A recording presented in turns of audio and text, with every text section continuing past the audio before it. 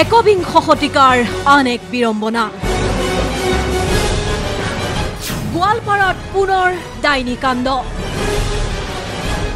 এজন দুজন নহয় এটা পৰিয়ালৰ সকলো সদস্যই এতিয়া ডাইনীৰ সন্দেহত গাঁওবাসীৰ পৰা পলাই ফুৰিব লগা হৈছে বিগত চাৰি মাহ ধৰি।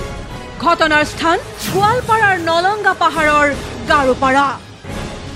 এটা পৰিয়ালৰ প্ৰত্যেকগৰাকী সদস্যকেই ডাইনী সন্দেহত হত্যাৰ বাবে সাজু হৈছে গাঁওবাসী।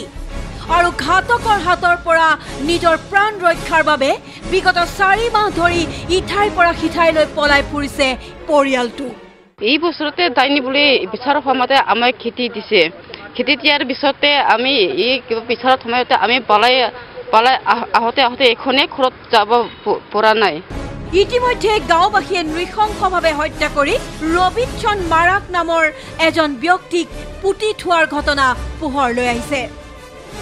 অসহায় পৰিয়ালটোৱে আৰক্ষীৰ সহায় বিচাৰিছে যদিও কোনো ব্যৱস্থা লোৱা নাই আৰক্ষীয়ে। চাৰি মাহে পলাই আছে আপোনালোকে? অঁ চাৰি মাছ পাঁচ মাছ মান এনেকুৱাই হৈছে প্ৰায় গাঁৱত গ'লে আপোনালোকক কি মাৰিব নেকি?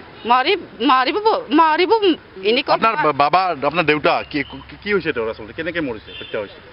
এতিয়া বোলে ভিতৰতে কিবা ৰাজ্যগিলাতে মাৰিছে।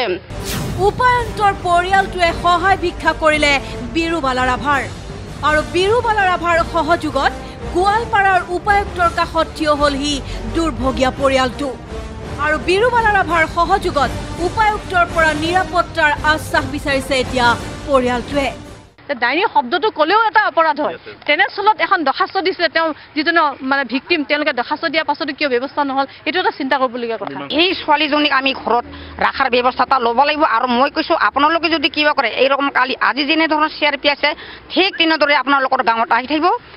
একবিংশ শতিকাৰ প্ৰযুক্তিৰ এই চৰম উন্নয়নৰ সময়তো একাংশ লোকে অন্ধবিশ্বাস আৰু কুসংস্কাৰৰ বশৱৰ্তী হৈ এইদৰে ডাইনী সন্দেহত সংগঠিত কৰিছে ইটোৰ পাছত সিটো অপৰাধ। গোৱালপাৰা জিলাৰ ডাইনী কাণ্ডৰ এই নতুন ঘটনাই হতচকিত কৰিছে শিক্ষিত সমাজক। গোৱালপাৰাৰ পৰা উদিত নাৰায়ণ কলিতা নিউজ লাইভ।